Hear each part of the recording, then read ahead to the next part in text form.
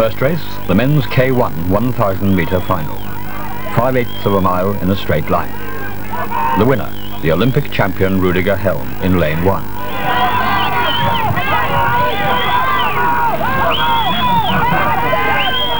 A great tussle develops for second place between Romania's Ion Birladeanu in lane 7, nearest the camera, and Norway's Einar Rasmussen in lane 9, farthest away.